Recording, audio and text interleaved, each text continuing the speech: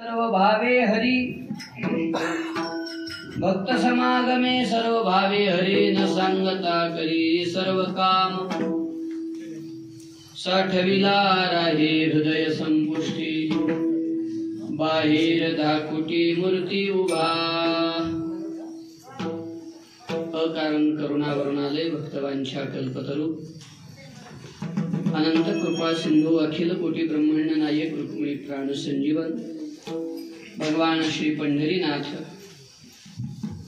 विश्वमाऊली श्री ज्ञानोबराया जगद्गुरु श्री तुकोबराया आदी करून सर्व साधू संतांच्या कृपाशीर्वादाने भगवान श्री कल्लेश्वराच्या या पवित्र दरबारामध्ये तुम्हा सर्वांच्या उपस्थितीमध्ये सर्व संयोजक मंडळींच्या आयोजनामध्ये सर्व भाविकांच्या सहयोगामधून प्रतिवर्षाप्रमाणे याही वर्षी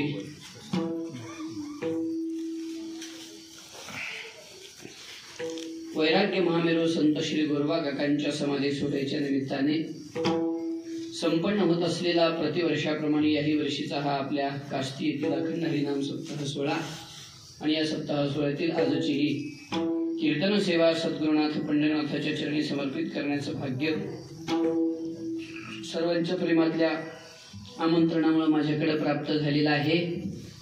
खरं पाहता पत्रिकेवर आज बाबाची सेवा काल्याला माझी आहे अल्टर आहे बहुतेक आता आज मी केलं म्हणजे काल्याला बाबाला बोलवायचं तुमचं काम आहे. तुकोबारांच्या गाथेतील त्या निमित्तानं आपण सेवेकरिता निवडलेला अभंग चार चरणाचा अत्यंत महत्त्वाचा प्रासादिक असा बहुतेकांच्या परिचयातील असणारा अभंग सेवेकरिता निवडलेला आहे. भक्त समागमे सर्व भावे हरी. न सांगता करी सर्व काम. साठविला राहे हृदय संपुष्टी. बाहेर धाकुटी मूर्ती उभा. प्रस्तुत कीर्तन सेवेकरिता निवडलेला अभंग. जगद्गुरु श्रीमंत श्री वैराग्य महामेल वैराग्य राग शिक्षित श्री तुकोबारायांचा असून या अभंगामधून जगद्गुरु श्री तुकोबाराया भगवंताचं भक्तवत्सलत्व आणि भक्ताचं भगवत प्रती असणारं समर्पण या दोन्ही गोष्टी मला या अभंगामधून सांगतायत. पहिलं चरण आणि तिसरं चरण देवाचं भक्तवत्सलत्व सांगणार आहे. दुसरं चरण आणि शेवटचं चौथं चरण भक्ताचं समर समर्पण सांगणारा असा हा अभंग आहे. मिश्र अभंग आहे. संतपर म्हणता येत नाही. भगवंतपर म्हणता येत नाही. सगळीकडून मिश्र असणारा असा हा अभंग आहे. अभंगाचा सद्गुणात जशी कृपा करतील तसा थोडासा विचार. अगदी संकल्पित वेळेत आपण सर्वजण करणार आहोत. कारण दोन ते पाच तीन ते सात झाले कथा. त्याच्यामुळे ते चार तास बोलणं पुन्हा अजून दोन तास म्हणत होते ते काय? आवाजाला याला त्याला एवढं शक्य होणार नाही त्यात आज एकादशी. म्हणजे कमी खाण्यात येतं असं नाही जास्त खाण्यात येते एकादशी. त्यामुळे अगदी समर्पित वेळेमध्ये आपण सर्वजण सेवा प्रभूचरणी समर्पित करणार आहोत. तुकोबाईचा हा अभंग आहे. या अभंगामधून जगद्गुरु श्रीमंत श्री तुकोबाराया भक्तांचं महिमान भक्ताप्रती भगवंताची असलेली भावना या अभंगामधून प्रतिपादन करतायत. भक्त समागमे सर्व भावे हरी न सांगता करी सर्व काम. हा आता मस्त लागलं बरं का. साठविला राहे हृदय संपुष्टी बाहेर धाकुटी मूर्ती उभा.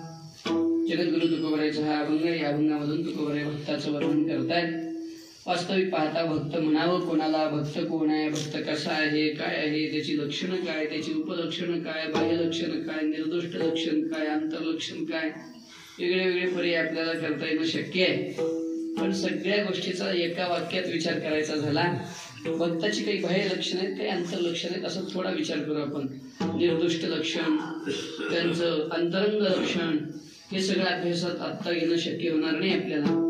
स्वतंत्र घरी गेल्यानंतर आपण अभ्यास करू शकता त्याबद्दल काही माझी अडचण नाही. घरी गेल्यानंतर अभ्यास करायला काय अडचण आहे आपल्याला? करावाच की कधी मोबाईलचा अभ्यास करतो कधी टीव्ही पाहतो गप्पा मारतो कधी कधी एखाद्या अभंगाचा अभ्यास करावा बसल्या बसल्या चर्चेमध्ये. भक्ताचं अंतरंग लक्षण काय आणि बाह्यरंग लक्षण काय? असा जर आपण विचार करायला लागलो तर बाह्यरंग लक्षणामध्ये काय काय येतं भक्ताच्या? सर्वांना माहीत आहे टिळे टोपी माळा देवाची गबाळे. पुढचं नाही पाहिजे आता वाघवी ओंगळ पोटासाठी. पण ते टोपी माळा देवाची गबाळे कपाळाला गंध देवावा. गळ्यामध्ये तुळशीची माळ धारण करावी शुभ्र वस्त्र शक्यतो शुभ्र वस्त्र धारण करावी. शेतात जरी काम असलं तरी शुभ्र वस्त्र धारण करावी. एक वारकऱ्याचा सामान्यतः तो पोशाख आहे. हरकत नाही काही प्रतिकूल अनुकूलतेमुळे काही बदल करावा लागला तर अपेक्षित काही बाह्यरंगाला एवढं परमार्थात महत्त्व नाही.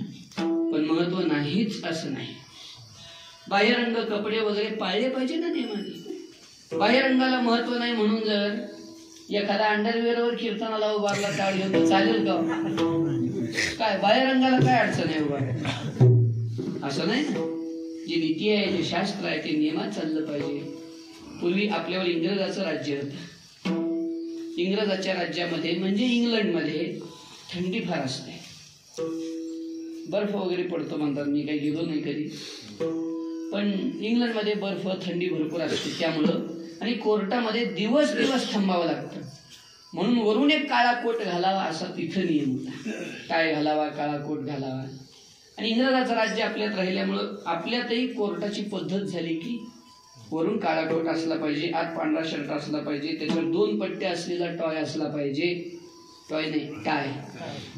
चुकलं वाटतं म्हणजे टॉय म्हणजे बाहुली होते ना? टाय असला पाहिजे दोन पट्ट्याचा.